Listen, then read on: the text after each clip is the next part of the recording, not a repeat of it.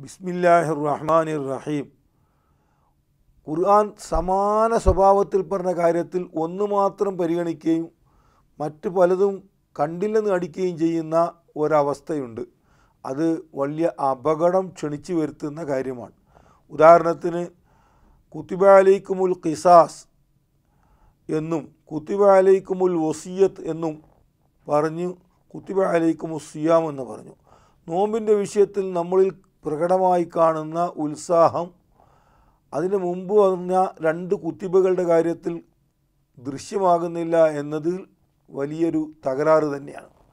അങ്ങനെ സൗകര്യാധിഷ്ഠിതമായ രീതിയിൽ ഖുർആാനെ സമീപിക്കുന്നവർക്ക് ഖുർആൻ സൂറത്തുൽ ബക്രയിൽ തന്നെ താക്കീത് നൽകുന്നുണ്ട്. അഫത്ത് ഉമിനൂന ബിബാദിൽ കിതാബി ഒ തഖഫുറൂന ബിബാദ് ഫമാ ജസാഉ മൻ യഫ്അലു ഇല്ലാ ഹസിയും ഫിൽ ഹയാത്തി വയോമൽ ഖിയാമത്ത് യുറദ്ദൂൻ ഇല അഷദ്ദിൽ അദാബ് ഒമല്ലാഹു ബിഗാഫിൻ അമ്മാ തഴമലൂൻ നിങ്ങൾ വേദഗ്രന്ഥത്തിൽ ചിലത് പരിഗണിക്കുകയും വേറെ പലതും നിരാകരിക്കുകയും നിഷേധിക്കുകയും ചെയ്യുകയാണോ?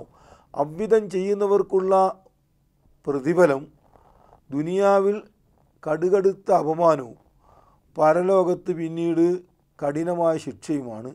അള്ളാഹു താല നമ്മുടെ ഇത്തരത്തിലുള്ള പ്രവൃത്തികളെപ്പറ്റി ബോധശൂന്യനല്ലല്ലോ എന്നാണ് ഖുർആൻ താക്കീത് ചെയ്യുന്നത്. അപ്പോൾ നമ്മളിപ്പോൾ അനുഭവിക്കുന്ന അപമാനം ആഗോളാടിസ്ഥാനത്തിലും ദേശീയാടിസ്ഥാനത്തിലും ഒക്കെ ഈ സമുദായം പല നിലക്കുള്ള അപമാനങ്ങൾ സഹിക്കുന്നുണ്ട്.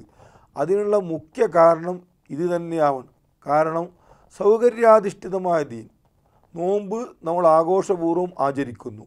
നോമ്പിന്റെ അതേ സ്വഭാവത്തിൽ പറഞ്ഞ ഇസ്ലാമിന്റെ ക്രിമിനൽ ചട്ടങ്ങളോ ഇസ്ലാമിന്റെ സാമ്പത്തിക ചട്ടങ്ങളോ ഇസ്ലാമിന്റെ കുടുംബ നിയമങ്ങളോ അത്ര ആവേശത്തോടെ നമ്മൾ കാണുന്നില്ല എന്നതിൽ നമ്മുടെ തകരാറ് ഉണ്ട്. ആ തകരാറ് തീർത്തപ്പെട്ടാലേ നമ്മൾ ഖുർആാനോട് നീതി ചെയ്തവരാവുകയുള്ളൂ.